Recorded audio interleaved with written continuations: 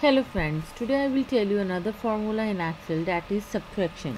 As it is very simple and easy uh, to subtract a value from another value but because this is one of the formula in Excel so I am explaining you. There is a table I have made a small table for you and these are the products LCD, CD player, Blackberry, PlayStation, TV and iPad and these are the costs in which you have sold this product and these are the prices these are the cost in which you have purchased this uh, product from the market. And uh, here we will uh, let to uh, we will see whether we have got the profit uh, or loss after uh, selling these products as earlier also i have told you that in excel every formula starts with equal to sign. So equal to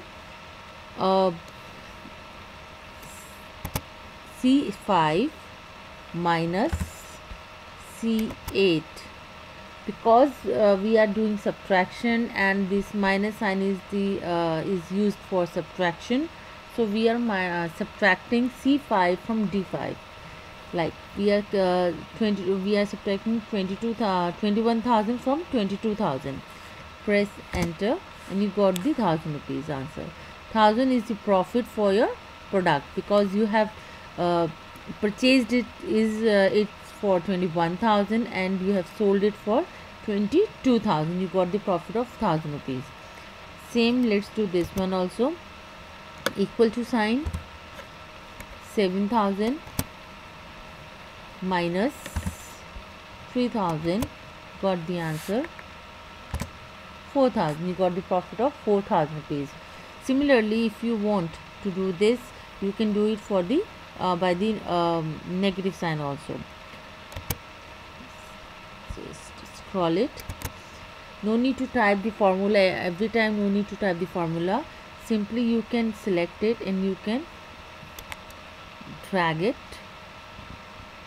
And you get the answer of all the things.